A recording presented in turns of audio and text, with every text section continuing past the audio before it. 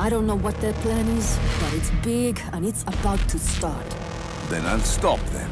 Just kick back and enjoy the show.